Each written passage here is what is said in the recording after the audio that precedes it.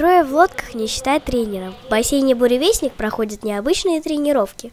Здесь обучают азам плавания на каяках. Необычно видеть в бассейне каяки. Это какая-то секция? Ну, в общем-то, да, это секция, но она, конечно, на вольных началах, но она секция. Секция грибного слалома руковожу я, Крашенинников Андрей Анатольевич.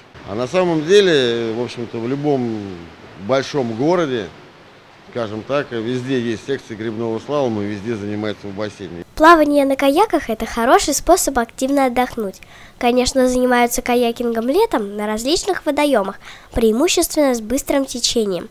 Но чтобы быть готовым к сезону открытой воды, нужно тренироваться и зимой в обычном бассейне. Если человек первый раз приходит, э, то его сразу научат или это сложно? Ну, как сказать, какое-то время нужно и желание человека.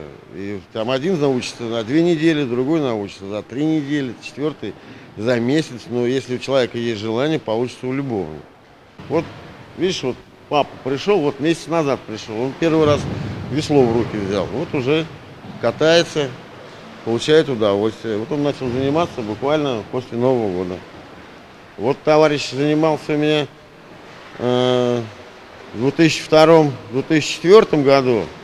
Прошло вот 15 лет, но как видно у него, как техника была поставлена, так она у него никуда не пропала. Зимой вы в бассейне, а летом вы? А летом у нас водный стадион, где у нас как бы основная весенняя, осенняя тренировочные базы, где у нас там и лодки, другие есть уже слаломные, спортивные. И основной полигон это наша любимая бурлилка между третьим и пятым микрорайоном. Пользуясь случаем, я тоже решила погрести веслами на каяке. Могу сказать сразу, ничего сложного нет, главное слушать тренера. Поехали.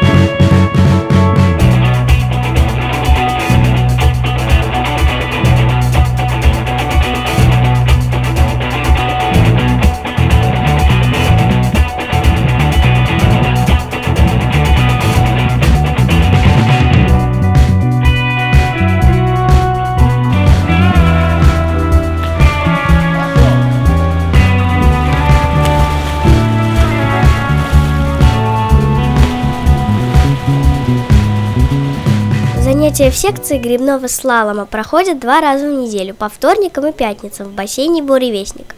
И помните, чем ближе к сезону активного отдыха на воде, тем меньше времени у вас есть, чтобы освоить каякинг.